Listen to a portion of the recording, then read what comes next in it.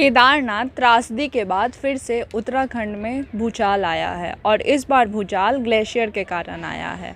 बात अब सोचने वाली ये है कि ये जो हड़कंप मचा है, वो इसका कारण प्रकृति नहीं, बल्कि खुद इंसान है। जी हाँ इंसानों के द्वारा बनाए जा रहे कार्य पे ही ये काम हुआ है, क्योंकि ठंड के समय में ग्लेशियर तो नहीं पिघलता, लेकिन फिर भी ग्लेशियर पिघला है और इस त्रासदी के पीछे इंसान के तरक्की की चाहत ही है। अब बात ये है कि उस त्रासदी के कारण बिहार भी अफेक्टेड हो सकता है। जी हाँ बिहार भी अफेक्टेड हो सकता है। इसलिए हम आ जाए हैं गंगा घाट पे। आपको ये बताने कि गंगा के तटों पर भी त्रासदी मच सकती है उत्तराखंड के कारण। उत्तराखंड के चमोली ज़िले में हिमस्खलन के धौली गंगा के जलस्तर में वृद्धि के कारण गंगा के तटीय शहर पटना में भी अलर्ट जारी कर दिया गया है। हालाँकि, तत्काल संकट की स्थिति नहीं है। हिमस्खलन का प्रभाव पटना में तीन दिनों के बाद ही पता चल सकेगा। जल संसाधन विभाग के अभियंताओं और अधिकारियों को चौकसी के निर्देश दिए गए हैं।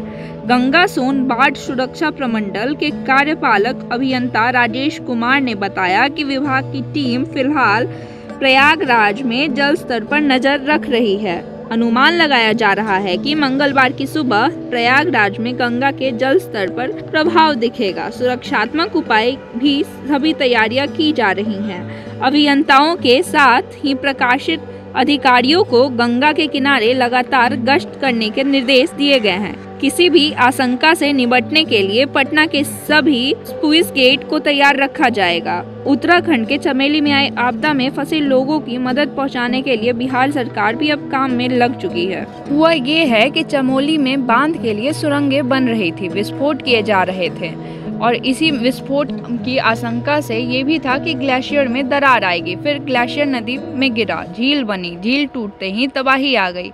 बाँध निर्माण के लिए नदी किनारे मलबा इकट्ठा था। यह मलबा भी नदी में बहा तो तबाही बढ़ गई।